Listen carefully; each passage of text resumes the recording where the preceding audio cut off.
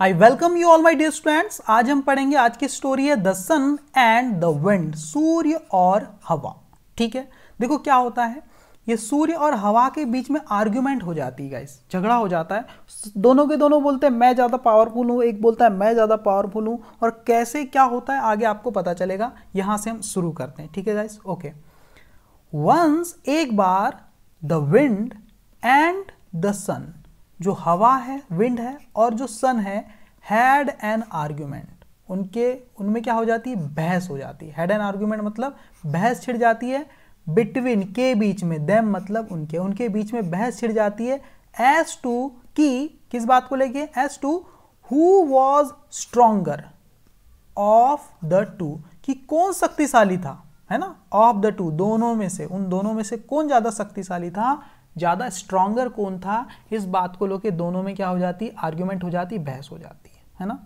The wind claimed जो हवा है, वो क्लेम करती, वो दावा करती। क्या दावा करती है? दैट की इट वॉज़ वो है वो है, क्या है?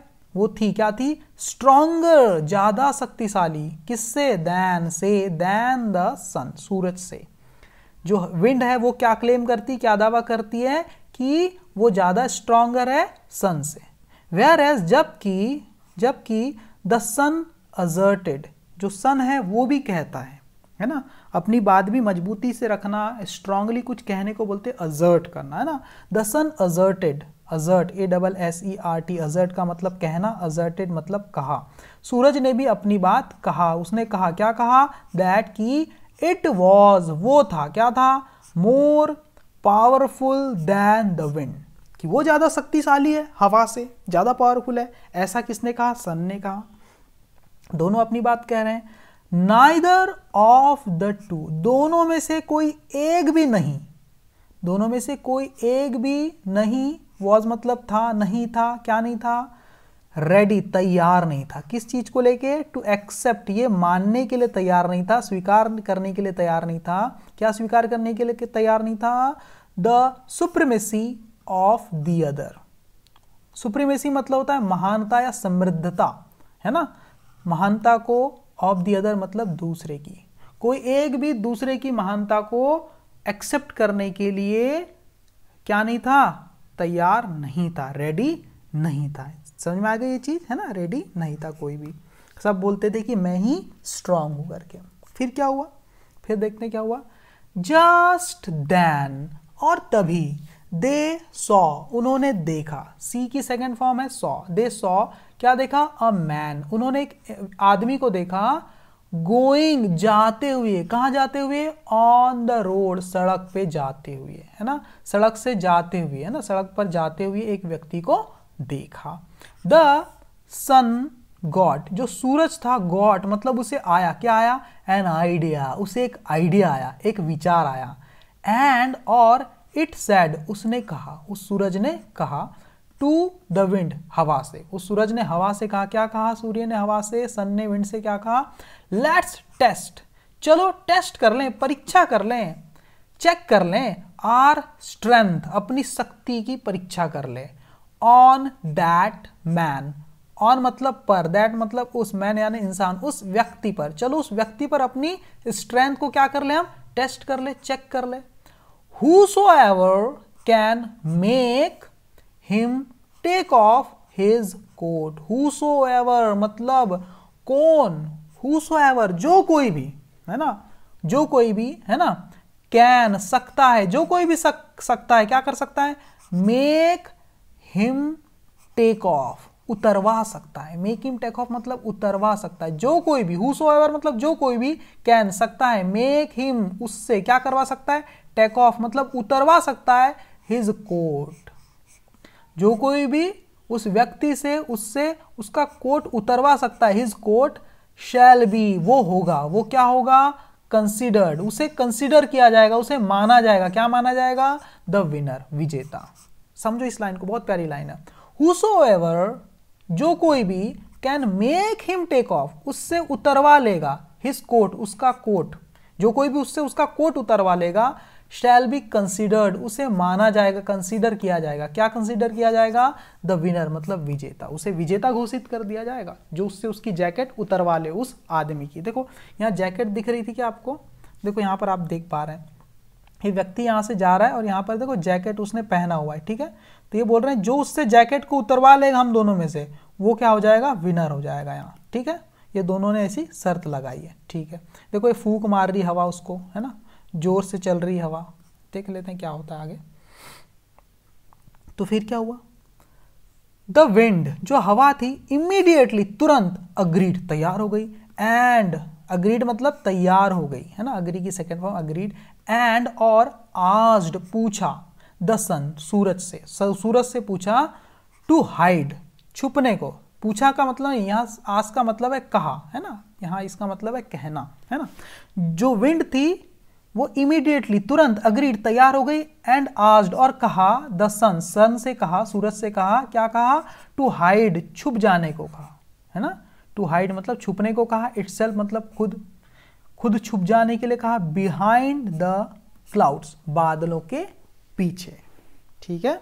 बादलों के पीछे खुद को छुप जाने के लिए कह दिया किसने? विंड ने। सूरज से ऐसा कह दिया। द विंड देन और उसके बाद द विंड मतलब हवा देन मतलब उसके बाद। क्या करती? स्टार्टेड हवा ने उसके बाद शुरू कर दिया। क्या शुरू कर दिया? Blowing with full force blowing मतलब बहना शुरू कर दिया। चलना शुरू कर दिया हवा ने। हवा चलती है ना तेज, वैसे ही ब्लोइंग शुरू कर दिया बहना विद फुल फोर्स पूरी ताकत के साथ। विद मतलब के साथ, किसके साथ? फुल फोर्स पूरी ताकत के साथ बहना शुरू कर दिया हवा ने। हवा चल रही थी बहुत ज़ोर ज़ोर से।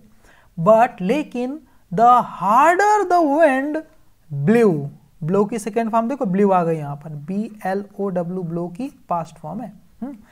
बट। लेकिन द हार्डर जितना तेज द विंड हवा ब्लू मतलब बही, जितना तेज हवा बही, हवा चली द टाइटर उतना मज़बूत द मैन वो व्यक्ति हेल्ड मतलब पकड़ा।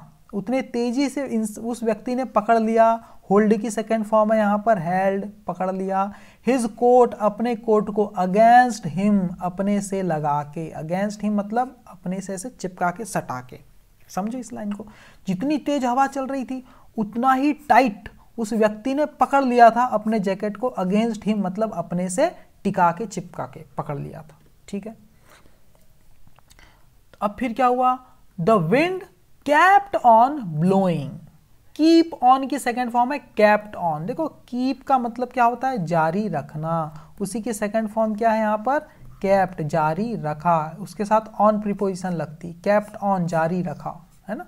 देखो द विंड हवा ने कैप्ट ऑन कीप ऑन की सेकेंड फॉर्म है कैप्ट ऑन हवा ने जारी रखा। क्या जारी रखा? ब्लोइंग बहना। हवा ने बहना, चालू रखा, चलना चालू रखा। अनटिल जब तक कि इट वॉज़ एग्जॉस्टेड जब तक कि वो थक नहीं गई, जब तक कि वो थक नहीं गई हवा ने चलना, जारी रखा, बहना जारी रखा कंटिन्यू रखा। बट लेकिन it could not it could not remove वो रिमूव नहीं कर पाई, निकाल नहीं पाई द कोट उस कोट को, है ना? फ्रॉम द मैंस बैक उस मैन की, उस व्यक्ति की बैक मतलब पीठ से मतलब उसकी बॉडी से वो उस कोट को रिमूव नहीं कर पाई, हटवा नहीं पाई उस कोट को। It was now the sun's turn it was ये थी नाव अब किसकी बारी? द सन्स टर्न उस सूरज की टर्न मतलब बारी. अब ये सूरज की बारी थी, है ना? इट उसने, सूरज ने क्या किया? जेंटली बड़े आराम से शोन मतलब चमकने लगा. आहिस्ता से उसने क्या कर दिया? शोन साइन की सेकेंड फॉर्म है. S H I N E shine की सेकेंड फॉर्म है. शोन मतलब चमकना. सूरज ने आहिस्ता से क्या किया? चमकना शुरू कर दिया, बहुत तेज़ी से चमकने लगा, है ना? Its beam beams upon the traveller it gently shone shone its beams देखो, समझना, है ना? शोन का मतलब क्या होता है? चमकना, चमकाना। इट्स बीम मतलब अपने प्रकाश की किरणों को है ना? प्रकाश की किरणों को अपॉन के ऊपर द ट्रेवलर मतलब उस यात्री। सूरज ने क्या किया? उस यात्री के ऊपर प्रकाश की बीम को किरणों को क्या किया उसने? शोन मतलब चमकाना शुरू कर दिया। उसके ऊपर किरणें पड़ने लगी सूरज की। The man felt so warm. उस व्यक्ति ने फील किया महसूस किया। क्या महसूस किया? सो so, मतलब इतना वॉर्म मतलब गर्म, इतना गर्म महसूस किया दैट की he took off take off की सेकेंड फॉर्म है टुक ऑफ़ समझ गए? टेक ऑफ़ की सेकंड फॉर्म क्या है? टुक ऑफ़ कि उसने क्या किया? टुक ऑफ़ कर दिया मतलब निकाल लिया. हिज कोट अपने कोट को उसने उतार लिया, है ना? टेक ऑफ़ कर लिया. दस इस प्रकार से, इस तरह से the sun won won the competition दस इस प्रकार से जो सूरज था वन मतलब जीत गया द कॉम्पिटिशन है ना? ठीक है? विन की सेकेंड फॉर्म है, इसको वन पढ़ते वन नहीं पढ़ते वन है ना? विन की पास्ट फॉर्म है ये वी टू ओके इस प्रकार से सूरज उस कंपटीशन को, उस प्रतियोगिता को जीत जीत जाता है। ठीक है गाइज़ ओके कैसी लगी आपको स्टोरी मुझे कमेंट करके ज़रूर बताना। Thank you very much my dear student और आपको किस टाइप की वीडियो चाहिए आपको? आप वो भी मुझे बता सकते हैं। अलग अलग टॉपिक के ऊपर हम आपके लिए वीडियो बनाएँगे। Thank you guys